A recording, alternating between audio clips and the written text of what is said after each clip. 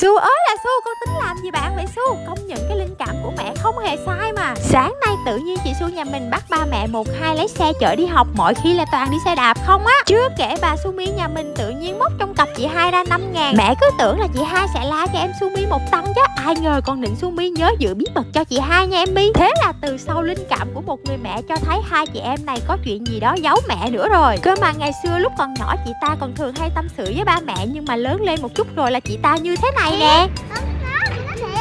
Giờ mẹ có hỏi cái gì đi chăng nữa Chị ấy không muốn nói là chị ấy giữ trong lòng luôn. Không mấy chị hai không chịu nói. Vậy Sumi nói cho mẹ nghe được không? Không được, mẹ ơi, con hứa với chị hai là con phải giữ lời. Mẹ đừng có mua chuột con bằng mọi hình thức nào cả. Trời đất, ba mẹ thương hai Su như thế Mà Su không có thể tâm sự với mẹ được hay sao? Đó, thấy Su thèm cơm tắm một cái là ba mẹ dẫn đi ăn cơm tắm liền nè. Thôi, mẹ đừng nữa Sumi siêu lòng. Bây giờ Sumi bịt tai lại không có nghe gì hết đây. Rồi rồi. Chị hai vào lớp rồi kìa. Bây giờ Emmy có thể nói cho mẹ biết là bí mật gì của chị hai không? Không được đâu. Con hứa với chị hai là sẽ không nói cho ba mẹ biết ngày hôm qua chị hai chở con đi học. Thế là có một bạn nam đi theo sau lưng chạy xe đạp dí theo chị hai. Hai ơi hai ơi cho mình làm quen làm chị hai chạy thục mạng luôn. Suýt nữa là làm cho con té rồi. Eo ơi chuyện lớn như vậy mà không nói cho mẹ nghe kiểu này phải hộ tống chị hai đi học mới được. cứ tưởng chị hai nhà mình hiền ai ngờ chiều lại đi học võ hạ luôn. Một đòn đau bán con nhỏ nhà người ta